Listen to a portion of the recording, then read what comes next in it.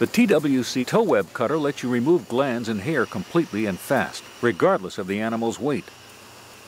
This little tool reduces operator fatigue, and the stainless steel blade and one-piece clevis construction ensures better hygiene by making cleanup a snap.